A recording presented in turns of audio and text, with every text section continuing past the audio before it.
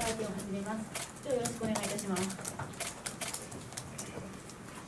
はい、えー、お集まりいただきましてありがとうございます。まず今日ですね、えー、横浜市の新型コロナウイルス感染症対策の加速化プランについて、えー、お話を最初にお話をさせていただきたいと思います。えー、スライドの資料を使って少しご説明をさせていただきます。まずあの横浜の新規感染者数なんですが、7月の下旬に急激に増加して、8月に過去最多となっております。9月に入りまして、現在、減少傾向にはあるんですが、毎日数百人単位の新規感染者数が発生しているという現状で、市内の療養者数も依然として多い状況にあります。次のスライドお願いします。9月の、えー、16日時点での新規感染者数が1782人、市内医療機関の病床使用率が57.5%、重症用の病床の使用率が45.5%、そして、えー、自宅療養者数が現在1448名となっております、9月16日時点で。病床使用率が依然として5割以上という高い水準が、まあ、続いております。次のスライドお願いします。ワクチン接種の状況は、2回接種が完了した方の接種率が、えー65歳以上の高齢者の方が84.3%、64歳以下の方が38.1%、えー、全世代の接種率は、これらまあ平均というか、あのー、通算して51.2%という数字になっております。県内33の市町村の中で21番目また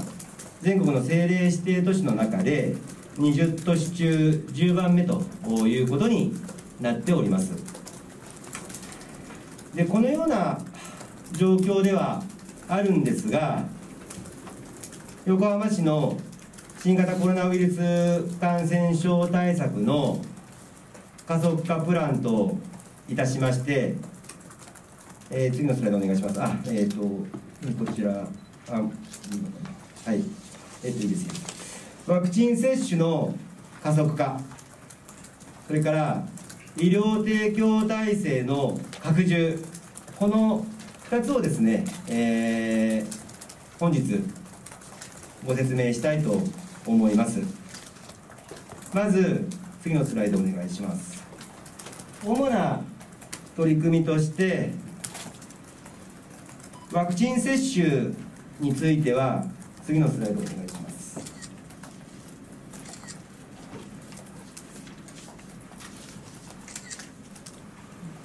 10月末までに希望者全員の、えー、ワクチン接種の達成を目指したいと考えています。当初は11月の末に全世代の接種率71.8%、まあ、約7割ですね、7割ちょっとが目標だった、それが旧プランなんですが、1か月早めて10月末までに、かつ10ポイントアップ、その接種率80%以上をえー、目標としてそういった接種率目標の、えー、見直しを行いたい行いました。そのための方策としてまず1つ目が12歳から64歳までの接種計画を徹底的に見直しまして個別接種の加速化個別接種の加速化を行いたい、行う予定です。次のスライドお願いします2つ目の方策としまして16歳から39歳向けの横浜市若者向けワクチン接種センターを10月に新たに設置いたします神南駅から、まあ、徒歩1分のところのビルにですね会場を設けて開設時間は21時まで。そして金曜日は23時まで。そのように延長いたします。1日最大1000人接種可能な体制を構築いたします。方策の3つ目として多様なライフスタイルに合わせてあ次のスライドお願いします。合わせて新たに週末にですね新たにですね深夜から週末こう深夜から早朝まで接種できるそういう体制を横浜市立大学附属市民総合医療センターで実施いたします。こちらの方は18歳以上が対象となります、まあ、ですので、えー、成人ですね、えー、深夜から早朝までの接種っていうのを横浜市内の市民総合医療センターで実施いたします。でこうした取り組みによって幅広い対象者向けに接種を拡充してまいります。今後も状況を見ながら24時間の接種体制について引き続き検討を進めてまいります。また、えー、若い世代の方に、えー、身近なツールとして、まあ、LINE が使われているわけですが昨日昨日から LINE を活用した予約の受付を開始いたしました。で詳細はホームページでご案内いたします。また SNS やウェブ広告そしてデジタルサイネージまあこういったものを横浜駅等でえーまあ、屋外広告交通広告という形で展開をしてデジタル情報の発信の強化を行っていきたい。そう思っています、まあ、それをそれらを通して、まあ、全世代、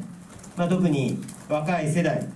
への接種の干渉っていうのあの干渉を行ってまいりたいと考えております。次に次のスライドお願いします。医療提供体制の拡充についてご説明いたします。次のスライドお願いします。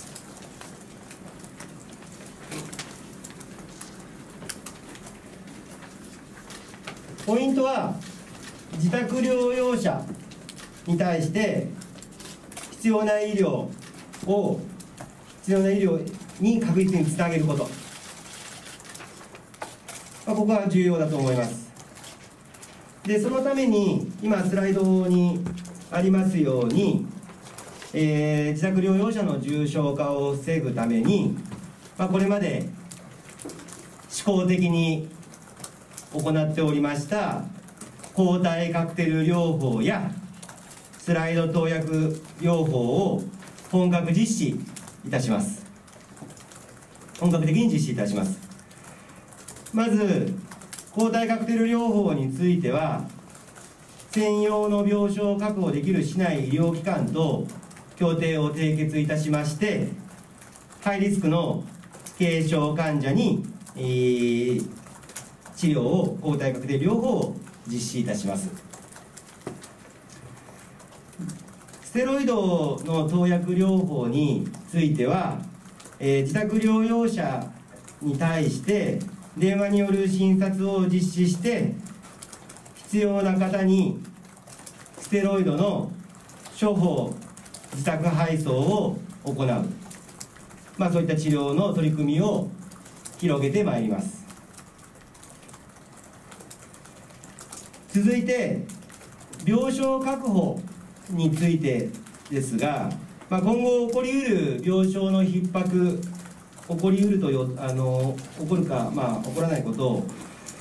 あの願っていますがあ起こりうるかもしれない病床の逼迫ですねさらなる逼迫を防ぐために体制の強化あ取り組みたいと考えております。まず、えーコロナ陽性のおあごめんなさい次のスライドごめんなさい次のスライドです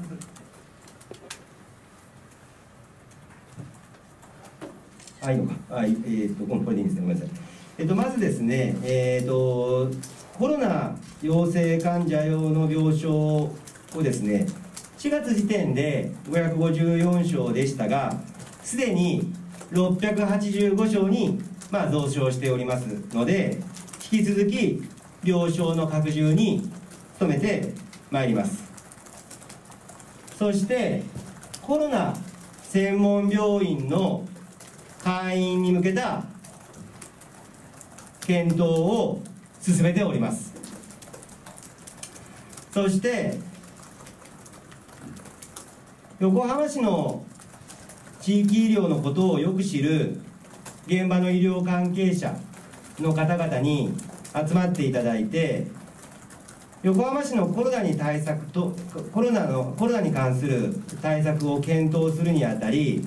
もっとこうそういった現場の医療関係者を中心に意見を聴取させていただくアドバイザリーボードを開催いたします。次のスライドお願いします。このほか、まあ、これまでホームページ、まあ、十分に公表されていたものもありますし公表されていなかった、まあ、数字もございますので、えーコロナに関するデータを分かりやすくオープンにすると。で市民の皆様と一緒にえー現状を共有できるようにしてまいりたいと考えています。また、新型コロナウイルスの感染拡大の防止にとどまらず経済との両立、まあ、こういったものを図るための準備についても今後積極的に検討を進めていきたいと考えております。新型コロナウイルスの感染拡大の防止そして、まあ、一日も早い。収束に向けて、うん、そうですね。その一日も早い収束に向けてですね、あの県、国と県、そして医療関係機関の医療機関の皆様と緊密に連携をしながら市を挙げて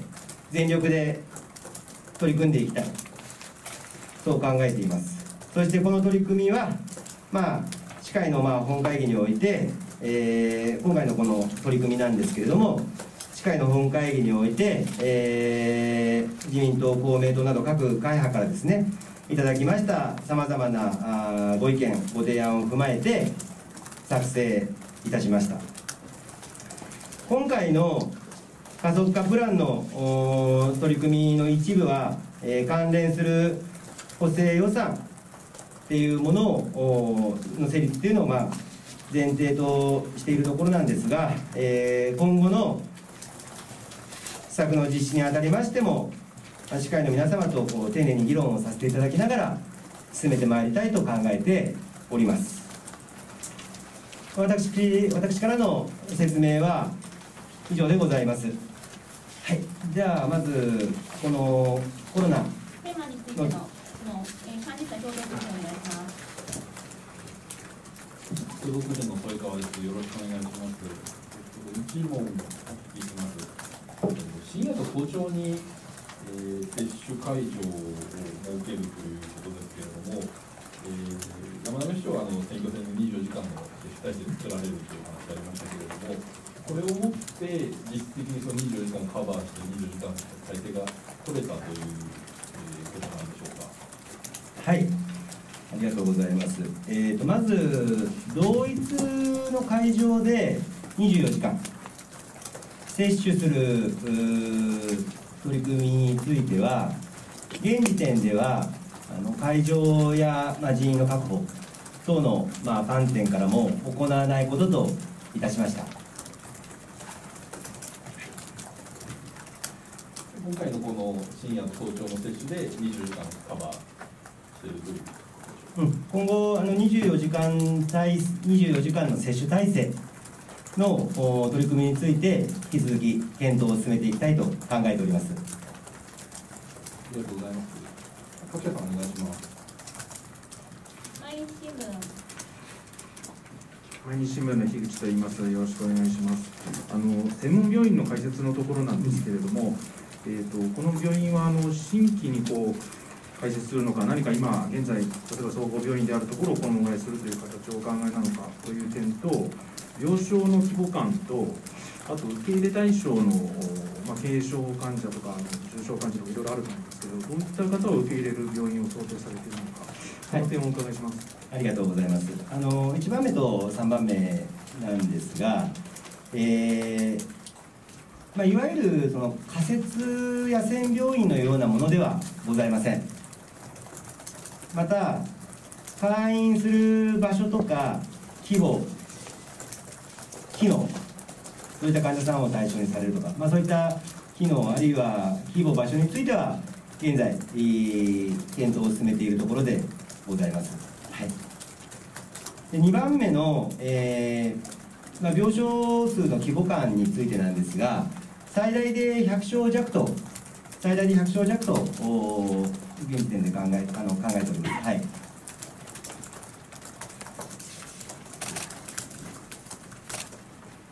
読売新聞はい、読売新聞のと申します。えーアドバイザリーボードの開催についてあのお伺いしたいんですが、現状の、えー市長としましては、その情報収集に関して、まあ現状どのようなあの課題があって、あのまあアドバイザリーボードの開設を判断をされたかということと、えーとまあ、具体的に扱えない範囲で、まあ、どういった方々を呼んで、いつから開催されるのか教えてください。はい、ありがとうございます。まあ、これまでもですね、まあ、横浜市として、えーいろいろこう外部の有識者からさまざまなあの意見というのは徴収してきたことなんですが、今後その取り組みをさらに、強めていくという視点から、横浜の地域医療をよくするよく知っている、まあ、医療関係者の方々をから、まあ、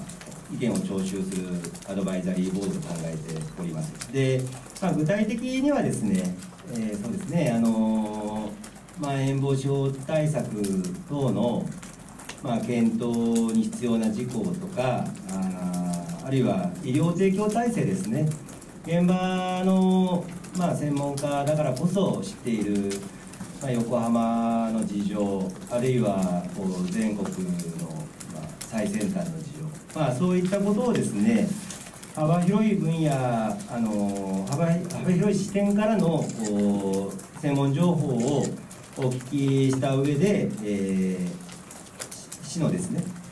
えーまあ、コロナ対策の方にフィードバックをしていきたいと、そういう趣旨でございます。でメンバーについては、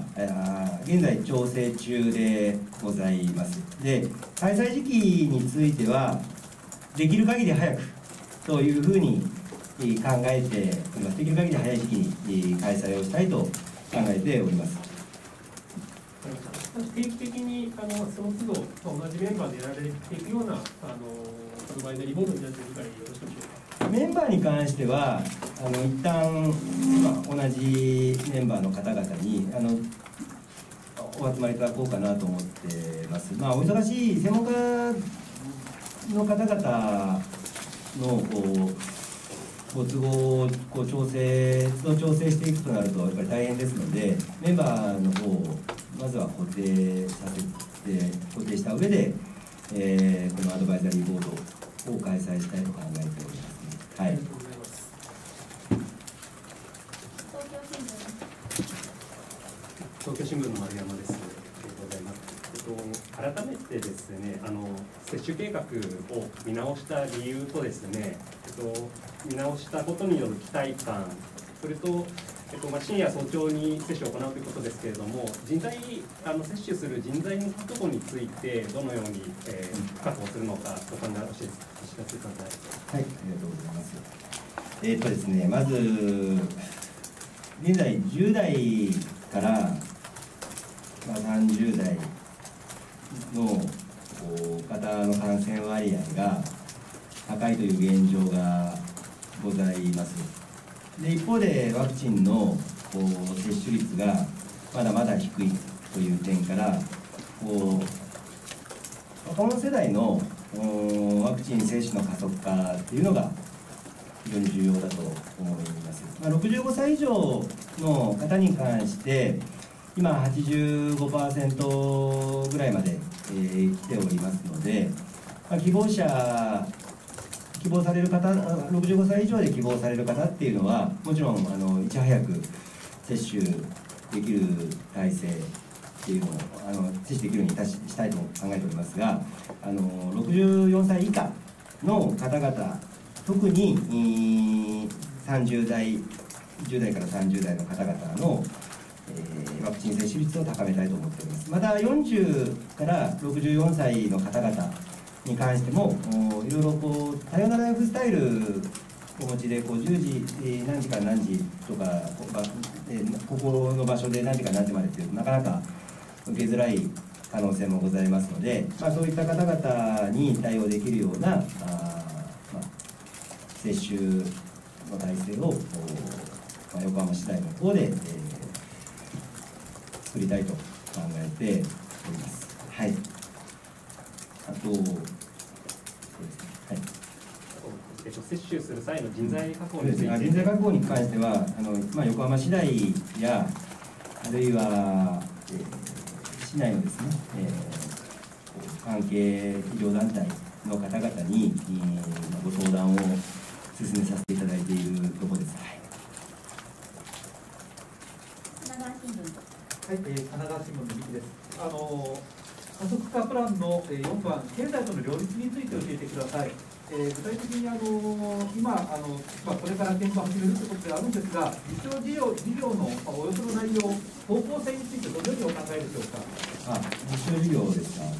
実証事業の方に関しては、えー現在いろいろ県とも協力しながら、えー進めて検討を進めているところでございますので、えーまとまり次第えー公表させてさせていただきたいと考えております。はいはい、あのそれに関してあの国が今検討を進めているワクチンパスポート、まあ、そうしたものも、えー今後、まあ、活用していく、まあ、そうした、えーえーことはいかがでしょうか？まあワクチンパスポートの活用やあー検査の陰性証明書、まあ、そういったものの活用もあの視野にえー入れた上で、えーどういったものがですね適しているのかっていうのを検討していくべきだと思いますただ感染状況に当然あの依存してできるかどうかっていうことが決まってまいりますので感染状況をきちんと見極めた上で、えーまあ、感染、ま、状況が許せばあのアクセルを踏める時期になればあそういったことがいち早く行えるよう体制を進めてあの作っていきたいと考えております。はい、すみません、もう一点教えてください。あの今の、えー9月のお補正予算案でも、やはりあの、まあ、で飲食店のレシートを使ったですね、うんあのーまあ、あの活性化事業、こちらもお取り組みあの、まあ、事業に盛り込んでいるかと思います。やはりあの経済との両立、まあ、コロナ禍において、地域経済をこう活性化させる、まあ、そうしたあの市長の思いに関して、改めて教えてください。はい、ありがとうございます。まあ、休業要請、たび重なっております。で、まあ、営業時間に関しても短縮要請が続いているところでございます。ですので、さまざまな面でですね、あの非常に、まあ、飲食店は厳しい状況にありますし、また、まあ、事業事業者一般飲食店以外の事業者の方々に関しても厳しい状況にございます。で今横浜市の提供経営動向調査というものがございますが、この数字この数字も、まあ、現状もちろん厳しいんですけれども、えー先行きも厳しい状況が続く見込みでございますので、ぜひですね、あの横浜市としても、えー支援の方をですね、あの検討していきたいと、支援の拡大をですね、あの、可能な範囲で検討していきたいと考えております。日経新聞日経新聞の二村ですね。えーまず、えーワクチンのですね、えー量の確保、各ワクチン量の確保、見通しについて、えー教えていただきたいというのと、えーステロイド投薬薬療法についてなんですけれども、神奈川県の方では、えー、一旦止めるというような、えー判断を出しておりますので、これについては、えーどうえー考えていますでしょうか。はい、ありがとうございます。まず、ワクチンの供給量の確保についてですが、まあ、国から示されている、まあ、必要な量の確保に関するスケジュールが、えー示されているところでございますので、それに合わせて、え接種の体制を進めてまいります。ただ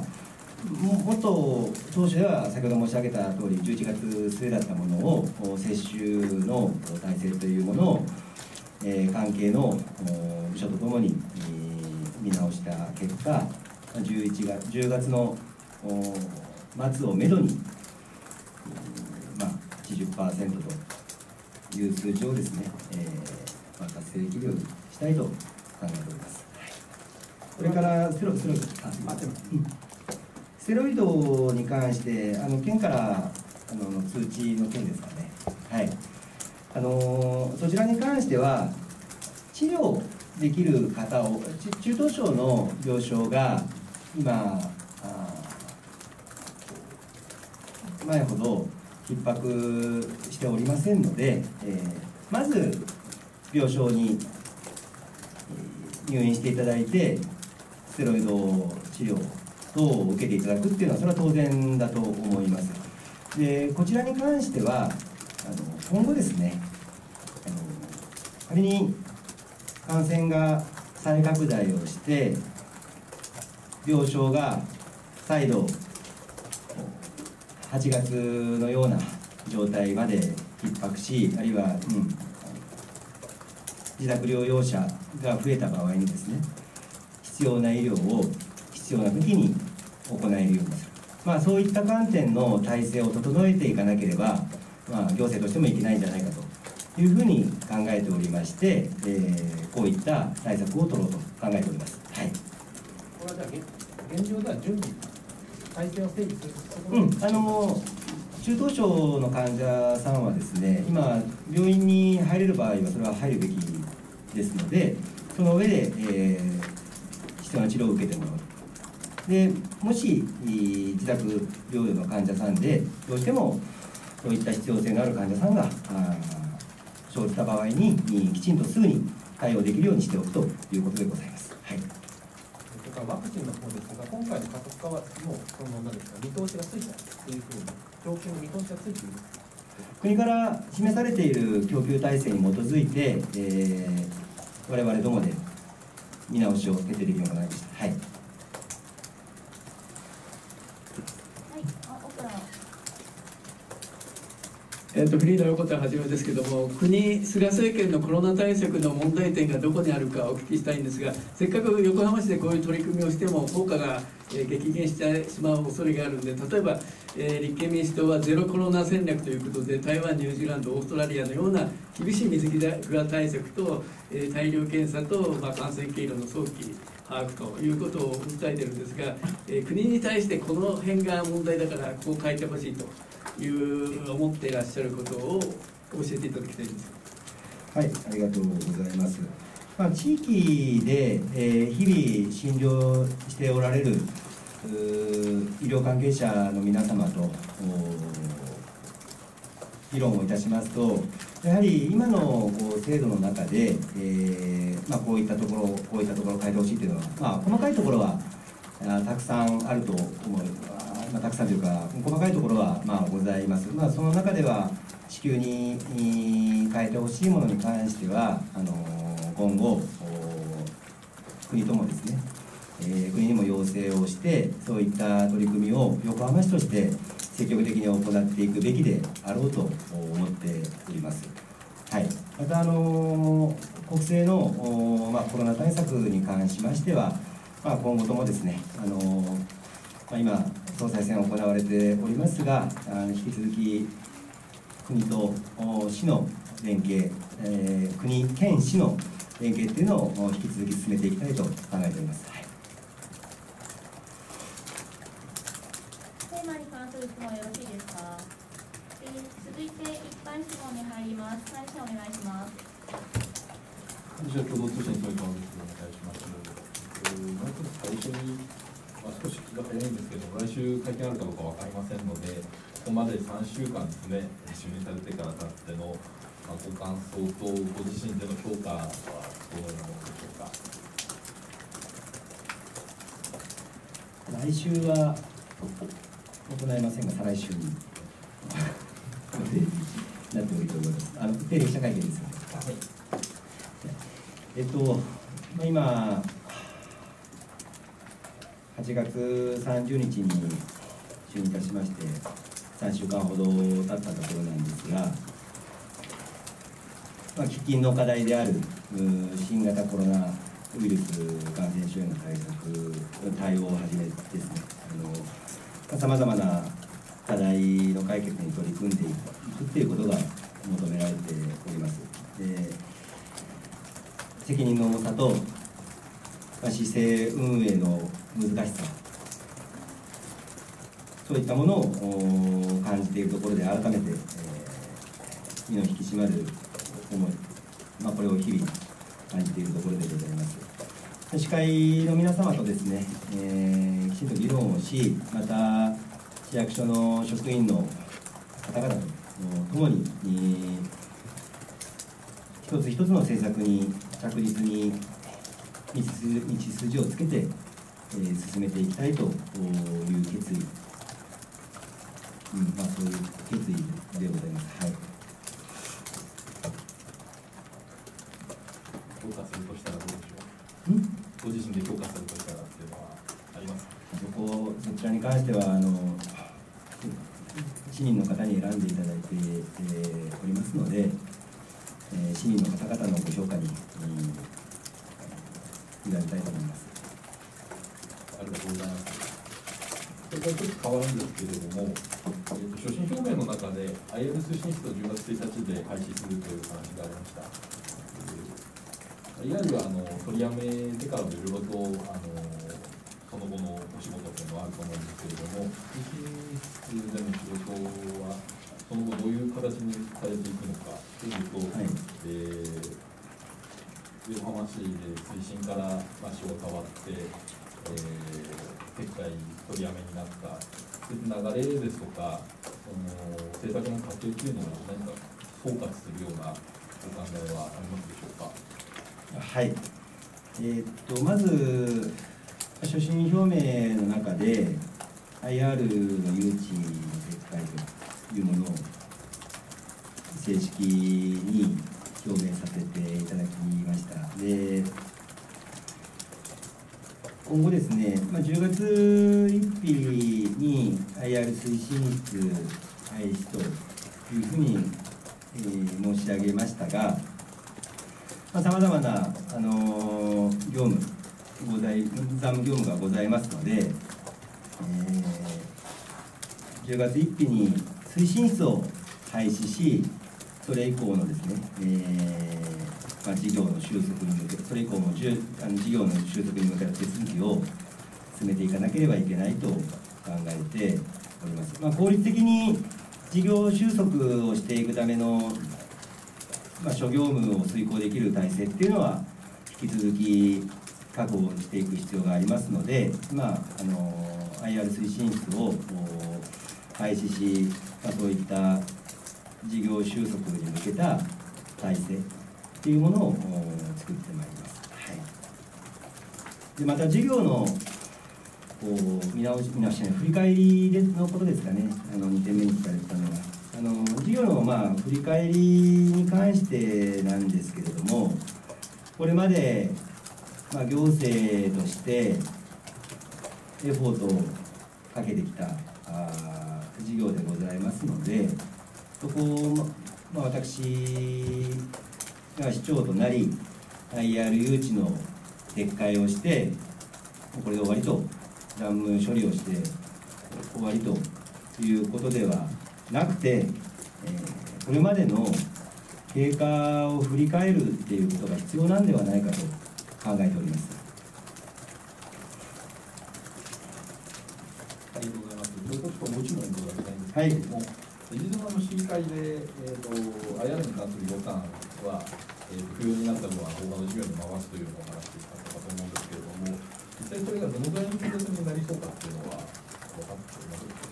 すはい、えー、と事業費が約3億6000万円。でそのうちの8割程度を執行して執行済みと。お執行かまあ執行予定と認識しております。で、まあ、今後ですねえーっとまあ、契約済みの委託業務なんかに関しても、えーまあ、作業の打ち切り等があの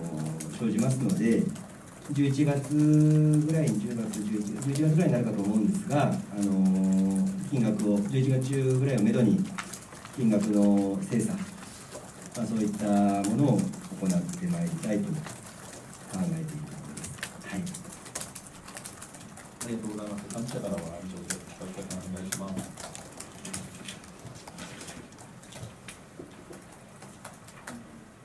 東京新聞東京新聞の丸山です。えっと、IR の関連で、えっと、今の、えー金額の精査についてですけれども、えー金額を精査した後に、えー減額補正を、うん議会に提出するという考えでよかったんでしょうか？はい、あの減額補正にありがとうございます。減額補正については、えー第4回4回のおー司会司会の第4回定例会に向けて、えー進めていくことになると思います。あのすみもう一点関連で、昨日の、えーえっと、市議会の答弁で、I- IR の山下区の再開発について、有識者や地元の方と、えっと、委員会を設置したいというふうなお話がありました。具体的にどのように今の考えているのか教えていただけますでしょうか？そのそのあれですか？構構成のどのようなものを作って、いつ頃開催したいとか、えっと、どのような考えが今あるのか教えていただけますでしょうか？はい、えー山下ふ頭に関しては、あの繰り返し申し上げているところではございますが、歴史や特性を踏まえながらこう検討を進めて、でまあ、市内経済の再生にかけていくことが必要だと考えております。でその観点からその地元の関係団体を含む市民の皆様、それから有識者、民間デロデベロッパー、まあ、そういったえ方へのこうヒアリングなどを開始して、え事業の枠組みをまず整理していく作業がまずあります。でその上で、えー有識者や地元の皆様などで構成される委員会を開催して、えーご意見を賜る。でその上で最終的に新たな事業計画の策定を進めていくべきだろうと考えております。ありがとうございます。朝日新聞武井さんあえーとあの朝日新聞の武井です。よろしくお願いします。あの先ほどあの IR に関してあのこれまでのあのまあえー経過をあの振り返る必要があるというふうにおっしゃいましたけれども、具体的にはどのようなことを行うようなお考えなんでしょうか？はい、あのありがとうございます。えっとですね、そうですね、えーっと、まあ、これまでこれまでまあ健康検討を進めてきたあの施策施策とか周辺のまちづくりのうち、まあ、今後の、まあ、政策にですね、えー、活かせるようなものをこうしっかりまとめる、ま、そういったポジティブな側面もございますし、まあ、IR の誘致に至る経緯とか、まあ、そういったことも可能な範囲で、えー、検討できればと思います。そういったまあ振り返りですね。そういったまあ振り返りを通じて、えー、まあ、皆様に、市民の皆様にフィードバックをするというふうに考えております。はい、そのあの、えーと、経あの誘致の経緯であの、まあ、よくその、えー、当時あの官房長官であの現在あの総理のあの菅さんのあの影響が大きかったんだというようなこと言われますけれども、そういったことについてもあのお調べになるつもりなんでしょうか？ここに関してはあまあ、文章とですね、えーまあ、どういった通知が出ていたかとか、そういったものを含めて、まあ、市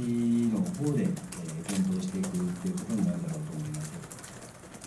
それはあの関係部署であのやるものなそれとも何公開の何か検討会議のようなものを開いてあそちらの体制に関してはあの今後あの検討してまいります速やかに検討したいと思います。はい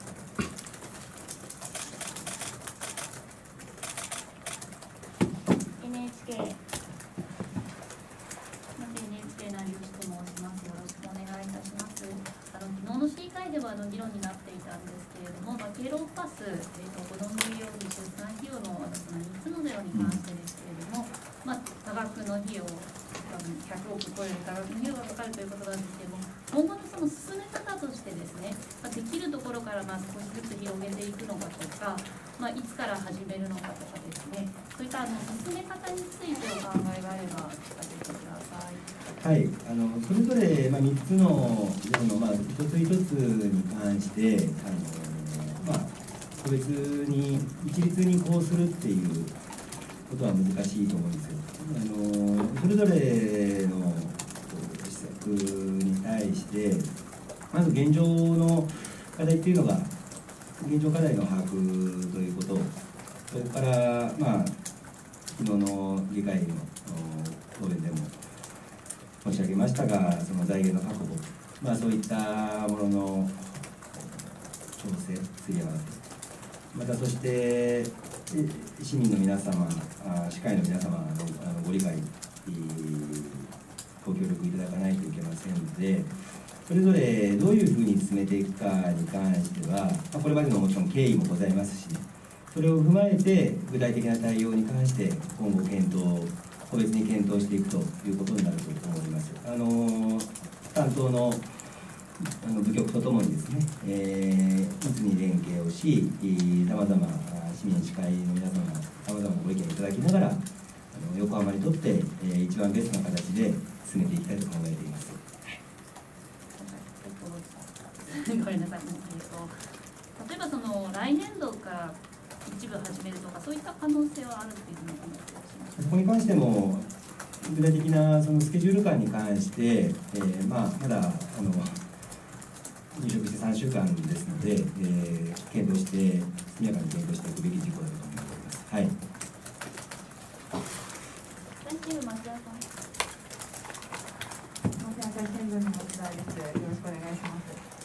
先ほどあの歯科医の関連で恐縮なんですけども、昨日の中学校給食のアンケートをあの改めて実施すると答弁されてましたが、あの2年前の時のその市が実施したアンケートは18校がほら18校18校18の学校でが対象でアンケートを取ったと思うんですけど今回は例えば全校に広げるとかちょっとボリューム感規模感やその、えーと、いつ作りかかり始めるかといったところ考えがあれば教えてください。はい、ありがとうございます。えーまあ、土地や学校敷地の確保の問題それから、まあ、財源等あの課題がございますまた、まあ、学校給食法で、えー、こう2時間以内とか、まあ、そういった規定もございますのであのその上でこう横浜って土地が広広いですからで学校も、まあ、点在ほとんど点在しておりますのでえーまあ、サンプリングの問題だと思うんですよ。どういったあふうにこうアンケートを取れば、まあ、全体を反映できているのか特定の1項だけではあるいは特定の5項10項だけではあもしかしたらあ全体の意見を反映できていない可能性がありますのでそこは、まあ、いろいろな横浜のですね、えー状況を踏まえてどういうふうに、えーアンケートを取った結果が、まあ、全体の意見を反映しているそういうふうに思えるかどうかのサンプリングを進めていくべきだと思います。でその上で、えーがまあ、そういった観点から学校どのどのぐらいの学校を対象にするのかっていうことはあの決めていきたいと考えてます。はい、2段階ぐらいで、こう、アンケートを構成していくっていう形になる。2段階で2段階でサンプリングで、まあアンケートの手法を検討してから、改めてそのアンケートっていうのを実施する。まあ、そのサンプリングアンケートを取るっていう行為の中にサンプリングの計画っていうのは含まれると思うんですよですので、まあ、そこも含めて、えーまあ、調査のお実施をお行いたいと考えてますど、来週月末にでもですね、横須賀市の方で完全接種が実施されると思うんですよ、センター方式なんですが。そういったその多種のことを他の都市、あの選挙期間中にお大阪のことを大阪を参考にちょっとおっしゃってるような記憶がするんですけども、大阪を参考にする参考にと、えっとそうえっと出馬会見で聞いたような気が間違いだったと思いました。他の都市のことをこう参考にされるのかことを。これは参考に可能な範囲で、えーまあ、あのコスト感とか方式とかそこに関してはすでに担当部局の方でもさまざま調査を行って、えー情報を持っていると思うんですけども、まあ、さらに追加の情報があるかどうか、まあ、そういったことを調べていきたいと思います。また、まあ、私自身ですね今、えー入職してまあ、3週間ほどで、えーなんですがあのお昼デリバリー型給食を食べるようにしているんですあのですので、まあ、そのデリバリー型給食を、まあ、あの毎日食べてるんですがあの味に関してですねあのまあ美味しいかどうかっていうことって何と比べて、えーどうかっていう何の部分で必要かなと思ってるんですよ。だからまあそういった点でできればですよ。あの可能かどうかわかんないんですけど他の都市のこう給食を一定期間食べる機会が作れないかなと思ってるんです例えば鎌倉のデリバリーのこう給食をこう一定期間食べてで、まあ、ちょっと私の場合大人の味覚になってしまいますけれども、まあ、できればこう味を知りたいですしそれから、まあ、川崎とか、まあ、その横須賀でもあのそういった取り組みができたできないかなと、まあ、それがまあ私一人が ちょっと食べても食べて評価しても仕方がないので、えー、ときちんとですねやっぱりあのまあ、考えとしてはきちんと客観的に評価を行っていくっていう、えー作業を前向きに進めていきたいなと思っています。はい、その観点で昨日ですねあのいあのそういった調査を行いたいというふうに申し上げました。ありがとうございます。毎日新聞毎日新聞の井口です。お願いします。あの昨日の司会で出た話ですけれども、旧庁舎売却の問題なんですけれども、えー、と価格算定の妥当性について確認されるということで、この確認作業にはその第三者というか有識者というか、何かこうそういった方を関わっていただいての確認になるのかというのが一点と、まあ、かなりあの時間的に残り少ない、段階に来てると思いますけれども。いつ頃までにその妥当性の確認を行うのか、ですみません、3点目にあの決済を止めるという表現で、えー昨日ありましたけれども、担当部署に具体的にどのような指示をされたのか、もしくはこれからされるのか、それについてお聞かせください。はい、ありがとうございます。まず、まあすでに建物の売却価格に関してあの意見いただいているところなんですが価格算定の妥当性の評価についてはあの第三者による調査これをすでに指示いたしましたでいつまでに調査、まあ、調査に関しては、まあ、できる限り、えー市民の、まあ、関心もありますので、えーできる限り速やかに終わらせたいと考えております。であと、そうですね、えー、なのでできる限り速やかに終わらせたいと思いますし、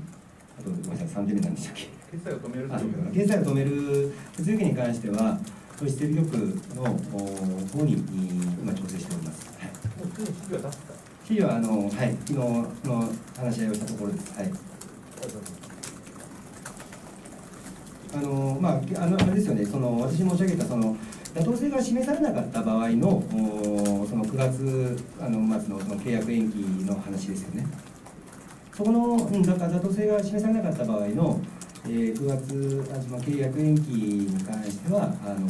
まず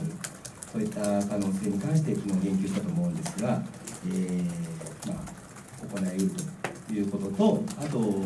その市長決済の点に関してはあの契約の市長決済に関してはあの昨日関係者とああの市役所の関係者のとあの話し合ったんです。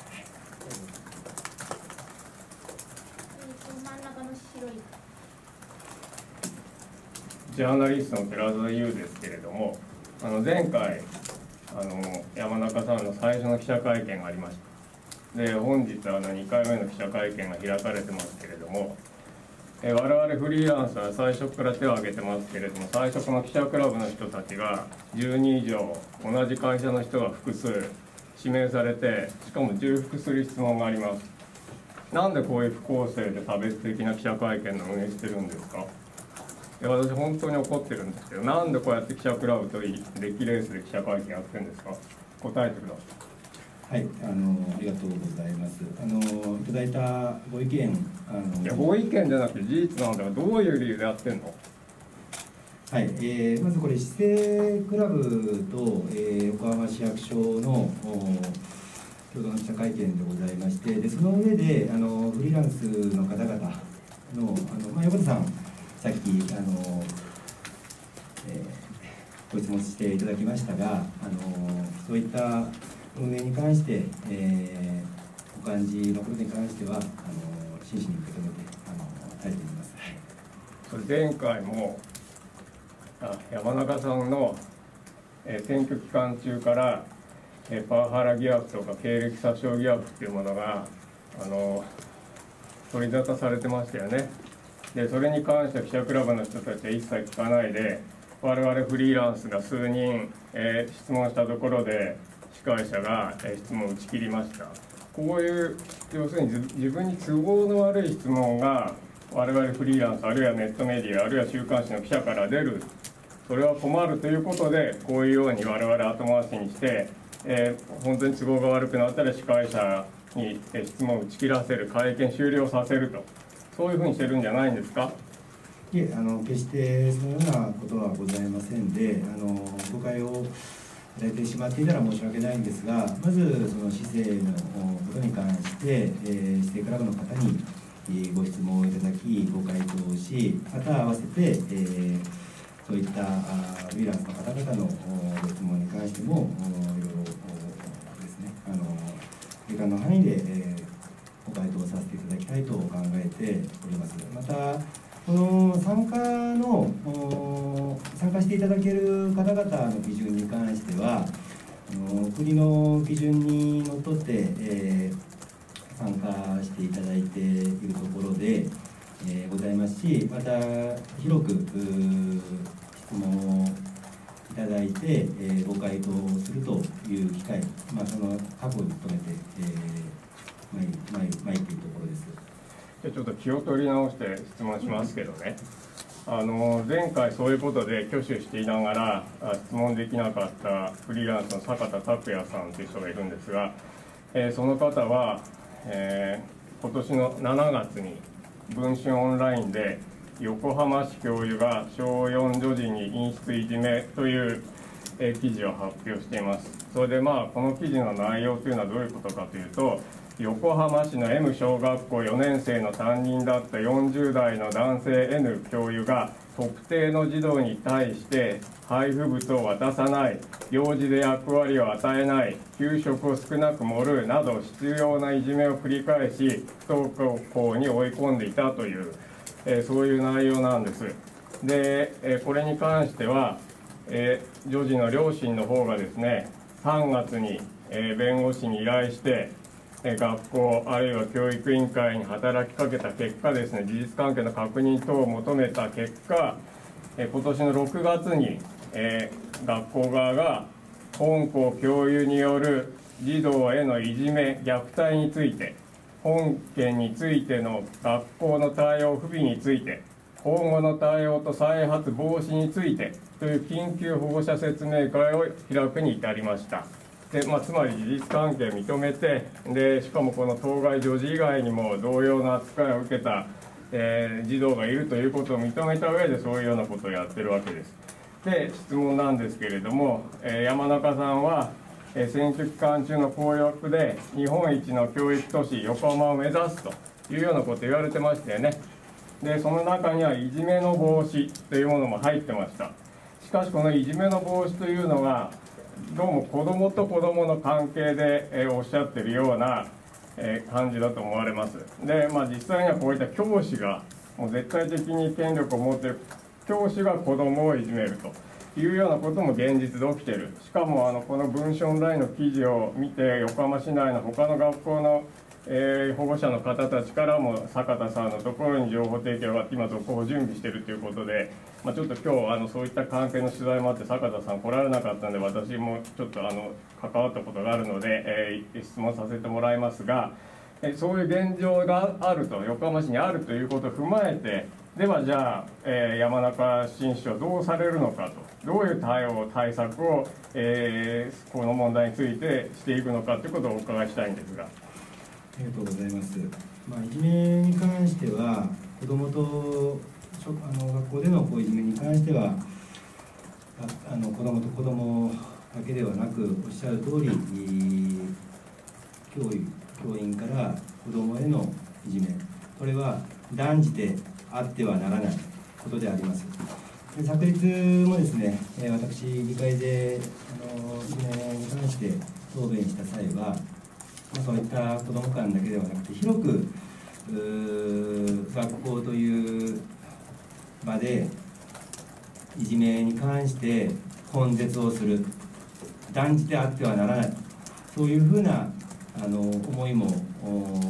あり申し上げておりましたので決してそういった報道されていた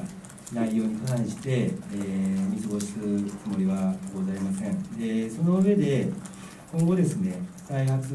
の防止という観点のことを、えー、お尋ねされているかと思いますがやはりそういった現状をですね、えー、いち早く知るそういった取り組み子どもに関して何かのアラートを発しているようであればそれをいち早くキャッチしなければいけませんしではアラートを発していない場合に関してどうしていくのかそういった多面的な面からの対策が必要となります。繰り返しになりますがいじめに関しては断じてあってはなりませんのでそことしてはそちらにかあのそのご指摘いただいた点に関しては重々ご指摘重要なご指摘と踏まえまして横浜市としても全力を持って対応してまいります。貴重なご意見ありがとうございます。で一つちょっと追加で今ので聞きますけどね。このあの山中さんの選挙の公約の中にスクールソーシャルワーカーの配置拡充っていうのもありましたよね。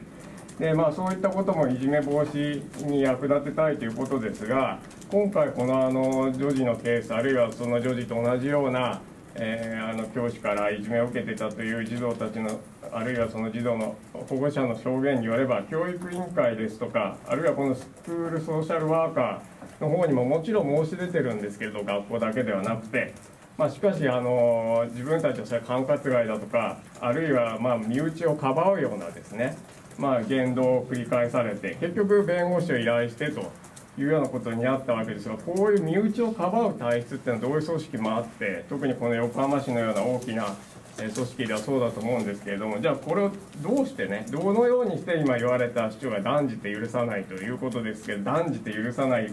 ということにつなげていけるのか知りたいんです。はいあのまあ、その今ご指摘いただいている案件について、まず詳細をですね、えー、私も担当部局の方に、改めて、えーまあ、存じ上げておりましたが、改めて、えー、確認し、再発防止の徹底に資するような対策を講じたいと思います。わかりました。じゃあ再来週以降の記者会見で坂田さん本人が来てまた改めて質問すると思いますんで、まあ、きちんと調査してあのご回答できるようによろしくお願いします。後ろのグレーの方。はい。あフリーランスの畠山道義と申します。あの前回あの会見が途中で終わってしまったので、えー、前回からの、えー、続きということで伺います。あの8月30日の就任記者会見の場で。あの山中さんがですねあの郷原信夫さんがインターネット上で公開した音声を、まあ、ご自身のものだと、えー、山中さんお認めになりました。でこの音声が、えー、パワハラだという指摘をされていることについて山中さんご自身は、えー、反論をなさらないのかえー、パワハラだと言われても仕方がないとお認めになるのか、えー、法的措置などは、えー、お考えなのかということをまず伺いたいと思います。はい、ありがとうございます。えー、そのような、あのー、まあ、ブログ、えー、等がネット上の情報があることは聞きを読んで、えー、おりますし、えー、と言いますが、まああの過去にですね、え前回も申し上げましたが、横浜市立大学などからハラスメント行為や、えー、その疑いを指摘されたことはございませんし、えー、現在、えー、私がすべきことは選挙を通じて選んでいただいた皆様に対して横浜市政に集中を横浜市横浜市の市政に集中することだと考えております。はいとということは法的措置とか、えー、これは違うという反論はされずにそのまま捨ておくということなんでしょうか？私が行うべきことは、横浜市の市政に集中すべきだと考えております。わかりました。じゃあ、えー、続いてですね、あの横浜市内の、えーと、メール問題について伺います。あのまず事実確認をさせていただきたいんですけれども、あの山中さん、6月29日の、えー、出馬表明会見で、えー、現在は元教授という立場で良いかという質問に対して、えー、こうお答えになってます。あの2週間前、えー、つまり6月15日に、えー、辞職の意思をお伝えし、えー、先週、えー、退職届を出したところです。えー、辞表も、えー、受理されているとおっしゃっています。で、昨日の本会議で、えー、6月16日に横浜市大が出した、えー、連絡が取れない状況が続いているというメールの内容について、えー、連絡が取れないということはなかったと、えー、山中さん、あの明言をされました。で、その上で伺いたいんですけれども、あの辞職の意思を伝えたのは、えー、どなたにお伝えになられたのか。で、6月16日の文書に連絡が取れない状況が続いていると書かれていたということは、えー、つまり学長または理事長の、えー、いずれかがえー、嘘をついていたと主張されるということでよろしいんでしょうか？はい、ありがとうございます。えー、6月29日だったと思うんですけど、あのああの出馬表明は29日です。はい。そこの時のあの発言に関して、えー、まあ1週間2週間2週間ぐらい前って言ったんですかね。あの日にちは言わなかったあの命じなかったと思うんですけど、えー、私が、えー、辞を表明したのは。6月18日の金曜日の、えー、夕方です。夕方から夜にかけてです。でそれは、えー、理事長に対して、えー、ご連絡を差し上げました。6月16日にこのようなメールを一斉に、えー、出され、えー、まあ、まあ、その時はですね、あのまだ調整中という段階ではありましたが、あまあ、こういったメールもあり、まだ立候補前ではございましたが、6月18日に辞意を、まあ、伝えざるを得なくなったというのが現状でございます。あの実態でございます。ただ報道自体はもうその6月16日の段階でされていたわけで16日の朝だったと思いますね、その日の朝刊で、えー、何社かちょっと忘れましたけど、新聞報道をなされて、え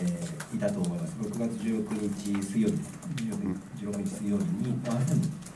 新聞報道なされていたと思います、はい、でも山中さんご自身が、えーと、出るっていうことを言わないと、さすがに書かないと思うんですけれども。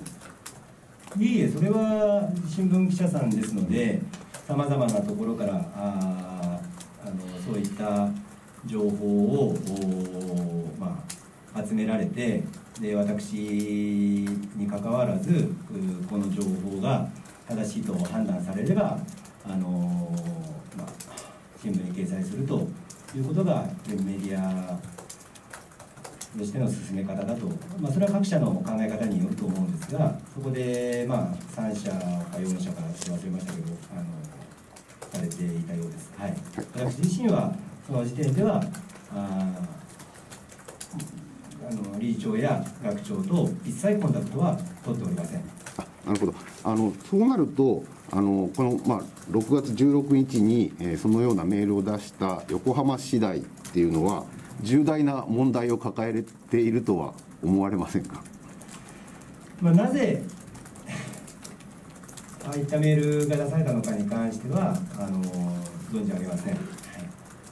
はい、あ私としてはあの事実の方をあの申し上げさせていただきました。はい、あじゃあこの点について最後もうもう一問だけお願いします。あのメールの文書が、えー、内容がですねまた新たなメールが出るわけですけれども、えー、それまでの間打ち合わせの場に、えー、山中さんご自身が、えー、同席されていたということも昨日のあの本会議でおめとお認めになりましたあの、まあ、資料ではあの黒塗りになっていた部分が山中さんだということをお認めになったんですけれどもその、えー、過程で面談の機会が複数回持たれていたと思います。で、えー、その文書の内容というのが、まあ、当初とは大きく変わって、山中さんの研究実績は素晴らしいものがあってというような、えー、称賛するような内容に、え、なった、え、変更されたということについて、ご自身や、まあ、市議の方も同席されていたと思いますけれども、えー、その働きかけが、圧力になったという疑念を招くとは、えー、お考えにならないでしょうか？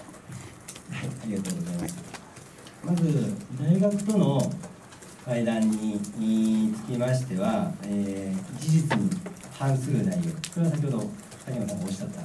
その内容に関して、えー、申し入れをいたしました。でその結果、えー、最後の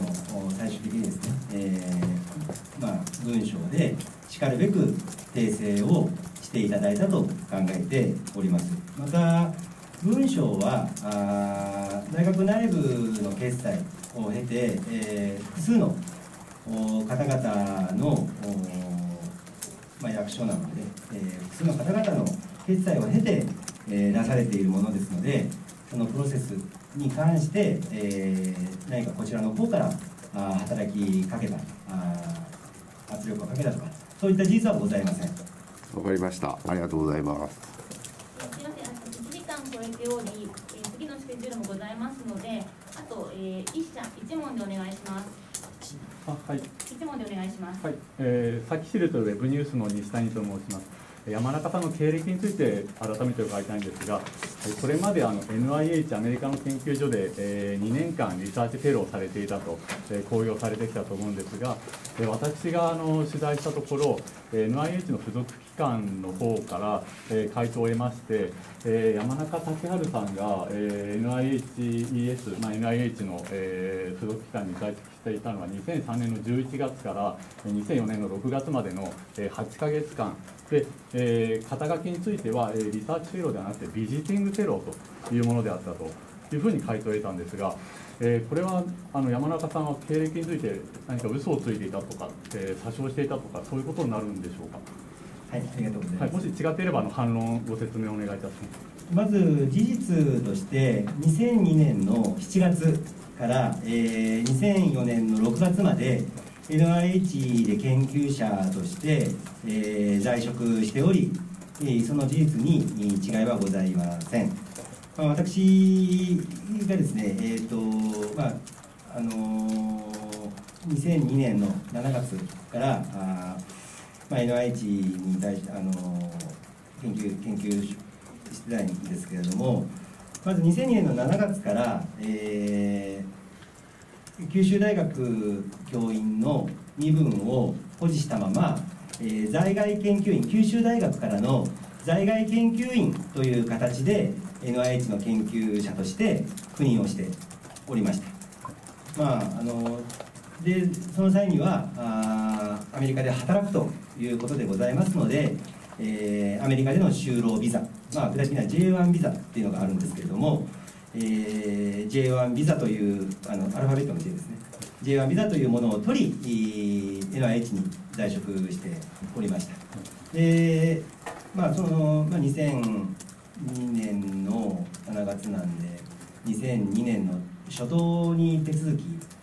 してるしたんですけれどもした記憶があるんですけど、まあ、当時はそのアメリカの同時多発テロの後だったんで、まあ、ビザの取得がもうそれはそれはあの相当大変です、まあ、私だけじゃなくてあのその頃にアメリカに行こうと思った方はみんなそうだったようなんですが、まあそれはそれは大変でしたね。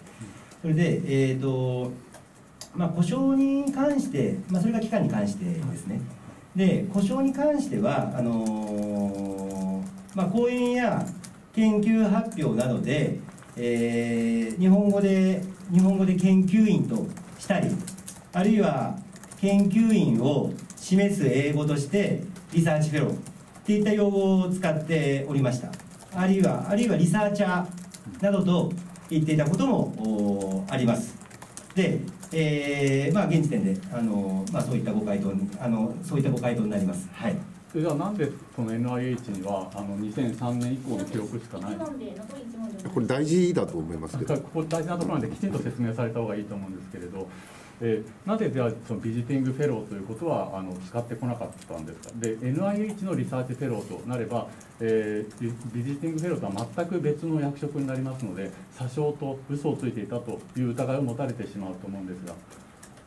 えっと、講演とか、これまでまず故障に関しては、あの講演や研究発表などで、えーまあ、研究員と表記してきたこともありますし、えーまあ、研究をしているうフェローということで、リサーチフェローという言葉を使っていたこともありますし、えーまあ、いろいろったそういった言葉をですね、えー適切な用語だと思われるものを使ってまいりました。はい、でそれが、まあ、あのいわゆる研究員としてですね、えーまあ、赴任しておりましたので研究員に相当する日本語やあるいはあ、まあ、英語ですね。そういったものを使ってまいりました。それが故障に関するご回答になります。それから期間に関しては2002年の7月からですね、えーまあ、先ほど申し上げた通り在在外研究の形ででその後おまあ、九州大学を休職し、その後大学研究という形で行っておりまして、そのことが関係しているのかどうかわかんないんですけれども、なぜ、えーまあ、2000、まあ、その、佐喜州さんですか、佐喜州さんの方で、どういったあーお尋ねのされ方をして、えーどういった回答があの NIH の方からあったのか、ちょっと存じ上げないんですけれども、えー2002年の7月からあー赴任をしておりました。その時は現地ではどういう役職だったんですか？ません。最後にしてくださいえっとか肩書きだけ教えてください。肩書きに関しては、あの私自身はあの研究員に相当する、英語で何という肩書きですか？そちらに関しては、あの研究員に相当するう言葉だったと思います。はい。何という、え英語で具体的に何という？そちらに関しては研究員に関する用語だったと思います。あの相当する言葉だったと思います。さまざま機関ごとにい定義が異なる同じ用語であっても期間ごとにい定義異なる場合もありますので、えーそちらに関しては研究員を表す、まあ、用語だったと思います。NIH のリサーチフェローと答えたのは不適切だったとは考えない考えておりません。あの研究員を表す用語として、えー、研究員 research fellow researcher 等を使っておりましたし、えー、2002年の7月から、えー、2004年の6月だと思いますがあその時点で、えーまあ、勤務していた研究者として在職していたことに、というのは事実です。 visiting fellow という役職であったことも事実です。すいません。以上で終わらせていただきます。ああビジティングフェローであったことは事実あと一問。あと一問でお願いします。あごめんなさい。すみません。この後の説明があるんで、はい、ビビジティングフェローであったことは事実ですか？ビジビジティングフェローであったことにちょっと確認をいたします。あのその呼び名ですねでも NIH の方からのご回答っていうのがもう一回すみません。してもらえますか。フェローというサイトがあったんですか？はい、そうです。あのですので NIH の回答の部分についてはその通りやろうと思います。はい。はい、えー、以上で定例会見終了いたします。市長に対する聞き取りはややったんですか？あの内容について留任するかどうか。あの昨日の議会野方さん出られてました。あの昨日議会であのすっかり答弁をしてさせていただいたんですが、えーと、平原副市長にはあの個別にヒアリングをいたしました。結果は問題ないということ結果に関してはまずまあ報道に関してなされていたあ事項に関して、えー、一つ一つ確認をさせていただきました。でその上で、えーまあ、横浜市から回答文書が、えー、出されていたようなんですが私の、えー、赴任前に。でそこの報道文書回答文書の作成過程については必ずしもちょっとこういろいろな多方面のいくつかの方面の調査をした結果ではないというふうに判断あのいたしました。はい、で新たな調査をして書いた文章を読みましたけどあれに加えて何か調査して、えー、事実はどうなのかというのは調べるあの昨日ですねありがとうございます。昨日、えーと、会見やはり答弁の際に申し上げたんですが何らかの調査をですね、えー、行う必要はああるんじゃないかというふうに考えております。以上で終わります。